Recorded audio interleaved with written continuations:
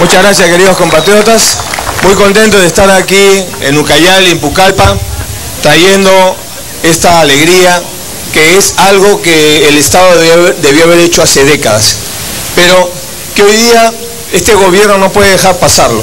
Y es importante que ya el, el hospital vaya construyéndose porque Pucallpa necesita un hospital de mejor calidad y mayor complejidad. Hoy día podemos atender con la tecnología y con la preparación de nuestros médicos, podemos atender con mayor seguridad y tranquilidad las diferentes enfermedades que puede tener nuestra familia. Por eso es que este hospital ya es insuficiente. Y recojo lo que Manuel dice en el sentido de que Ucayali, Pucallpa, hoy día es una ciudad que está creciendo y está compitiendo con las principales ciudades de la Amazonía. Y lo que estamos haciendo es reconocer nosotros la pujanza del pueblo de Ucayali, que hoy día pone a Ucayali como una perla dentro de la Amazonía.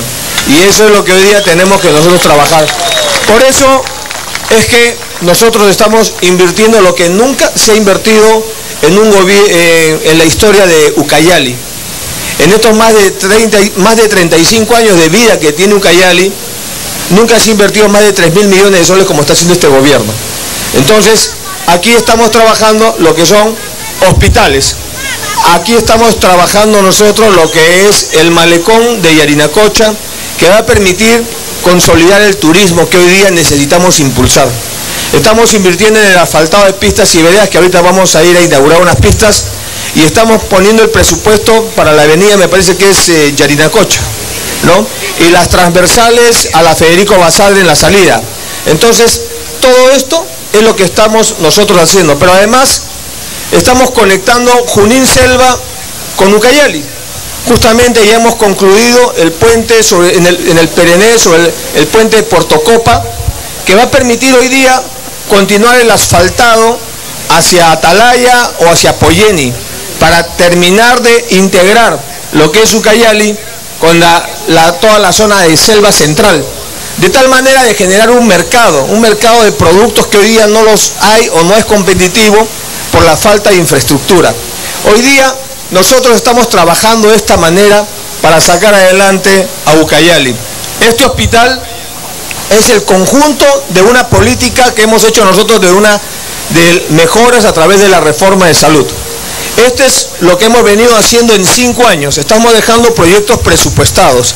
El malecón de Yarinacochas está presupuestado para su término. Las avenidas, pistas y veredas que estamos nosotros lanzando también están presupuestados. Por lo tanto, ¿qué es lo que tiene que hacer el siguiente gobierno? Aquí en Ucayali, si nosotros estamos poniéndole más de 3 mil millones de soles, el siguiente gobierno tiene que comprometerse como mínimo a poner lo que hemos puesto nosotros para que Ucayali siga creciendo, siga desarrollándose. A través de la infraestructura educativa, a través de la infraestructura en salud, a través de la infraestructura vial, conectividad, no solamente con carreteras, sino también con la red dorsal de fibra óptica, que es el Internet de alta velocidad que deben tener todas las provincias de Ucayali. De tal manera que en Padre Abad, en Purús, ¿no? tengamos nosotros Internet de alta calidad. ¿Qué es lo que estamos haciendo con esto? ¿Por qué lo hacemos? Primero porque es un derecho. La gente en el Perú debe saber que tiene el derecho al desarrollo la gente en el Perú, así vivan en Purús, así vivan en la frontera, así sean comunidades en Sierra del Divisor, que también le hemos reconocido como una reserva nacional, tiene que tener derechos. Y para esto es que el Estado tiene que llegar. Por eso es que el presidente tiene que venir a cada rato también. Y además vienen los ministros, porque nosotros nos hemos caracterizado por ser un gobierno en el cual al Estado le ponemos las botas, le ponemos su, su jean y sale a caminar, sale a trochar, sale a recorrer el país para escucharlos a ustedes, para saber cómo están las cosas, cómo están avanzando las obras. Este Estado no, no administra solamente el país, este Estado, este Estado administra y gobierna el país. Gobernar el país es distinto que administrar. Administrar es dejar que las cosas vayan como estén.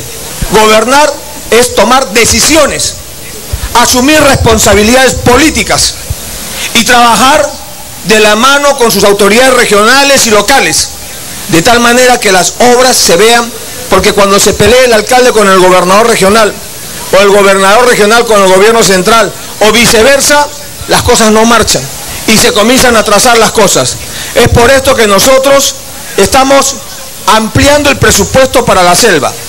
Es por eso que nosotros estamos dejando un presupuesto que debe continuar.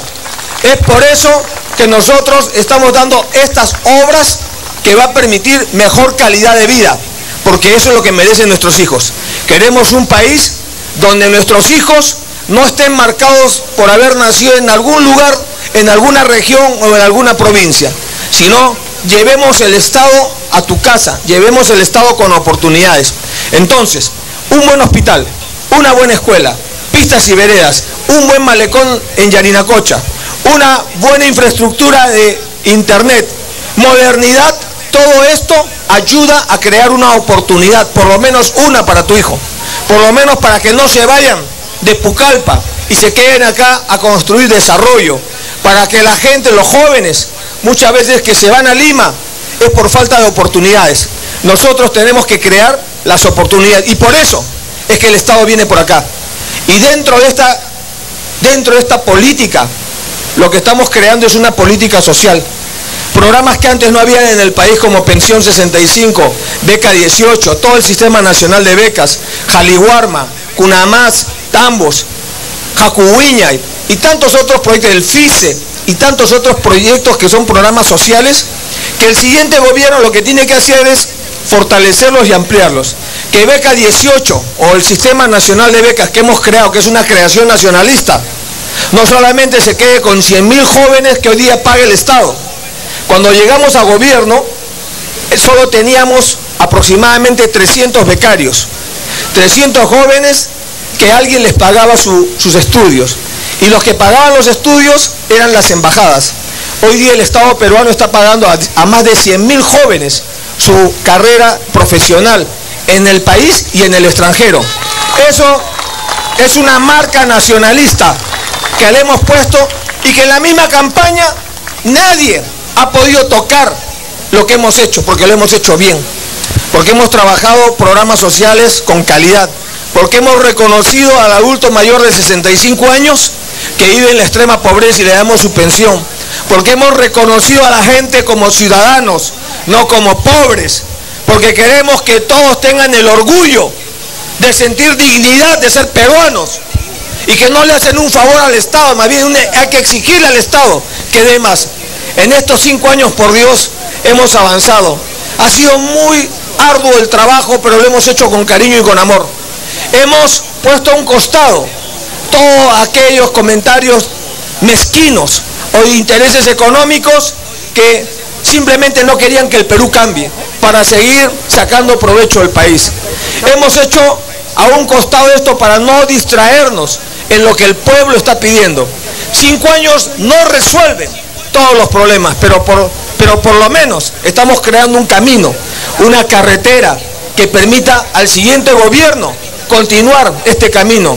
La creación de nuevos distritos. El asfaltado de más de mil kilómetros de lo que es la carretera Fernando Belaunde, que permite integrar desde, desde Villarrica, San Juan de Cacazú, Puerto Bermúdez, Ciudad Constitución, hasta llegar al nuevo distrito de Von Humboldt, conectarse con la Federico Basal y entrar de frente a Pucallpa. Eso es lo que estamos haciendo, darle conectividad a la Amazonía. Eso es desarrollo, eso es transformación y eso se lo entregamos con todo cariño a Ucayali, a Pucallpa. Son más de 3 mil millones de soles que estamos entregando a Ucayali. Y claro, después del 28 de julio visitaré también y vendré con Nadine, que les mando un fuerte abrazo a todos ustedes, a visitar, a visitar el malecón, a visitar que las cosas funcionen, porque todavía hay ollanta para rato. Muchas gracias a todos ustedes y que viva Ucayali y que viva Perú, carajo. Muchas gracias.